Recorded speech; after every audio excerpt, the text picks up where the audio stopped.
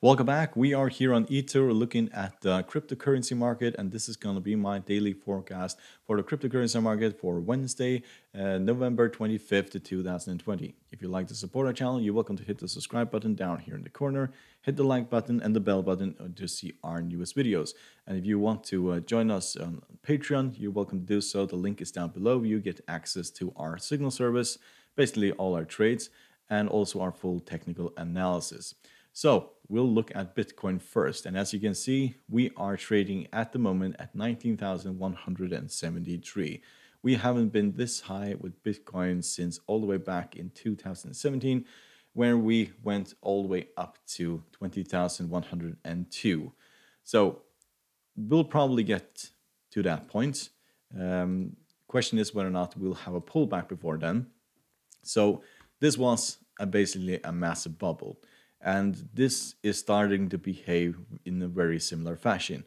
Whether or not we'll see a complete collapse like we did see in 2017, that is to be seen. We went all the way from 20,000 uh, all the way down to 3,200, and um, well, that was a complete crash in the in the uh, cryptocurrency or Bitcoin.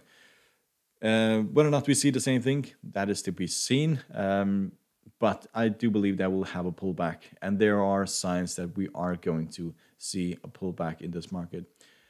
Um, I do believe that we'll get to 20,000. I think that will uh, buyers will basically pressure this all the way up to 20,000 and then dump it. The question is how far will fall. We uh, 18,000 that is a possibility. That's basically right under here. This um, this weekly candlestick. But I believe that 15,000 is where we are going to land in the beginning. Best case scenario is that we go all the way down to the 50 moving average on the daily chart. So the 50 moving average is at 14,000 at this point.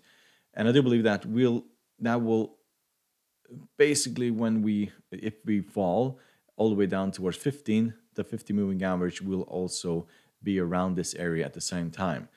We can also look at the Fibonacci retracements and take this long.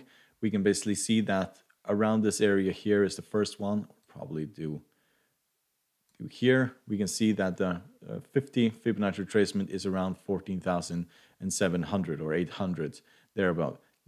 And uh, that would mean that this area here would be significant support. And um, that's uh, fantastic place if you want to buy Bitcoin because buying at this level here is just absolutely crazy. I know that saw some other, uh, read some articles uh, analysis today that Bitcoin was going to go absolutely parabolic the next um, few years, but moves like this can't continue forever. They will fall eventually uh, because, well, it is very hard to find any value up here at this point. Value can be uh, found if it falls towards the uh, 18,000 level or the 15,000 level. Then people will start be interested in basically starting buying this. If we look at the technical indicators, we can see that we are significantly overbought. However, the other indicators are either flat or bullish. So it is not showing signs of weakness on the daily chart, uh, not at all. So we may go all the way to 20. I do believe that will be a very uh, psychological um, area, which a lot of sellers will come in and basically push this market significantly lower. And if you want to buy in, I would guess that 15,000 would be the absolute best um, best area for price level to buy Bitcoin at this point. So look at Ethereum, we can see that this has also become completely parabolical. And um, at this point, it is also starting to look like a bubble. This has to pull back uh, eventually. And if you look at the Fibonacci retracements here, all the way up that area, then 500 would be um, a good entry. Uh, 470 would also be a very good entry. And that would also coincide with a 50 moving average traveling this way. And we'll basically hit the same area. So a pullback from here is, well, that is inevitable. Uh, we are significantly overbought. CCI is turning around. Stochastic is turning around. It's basically the MACD that is is still fairly bullish, but the other indicators are starting to show signs of weakness and basically turning around. And this uh, this candlestick here also looks fairly weak. So this is a plausible uh, selling opportunity at this point.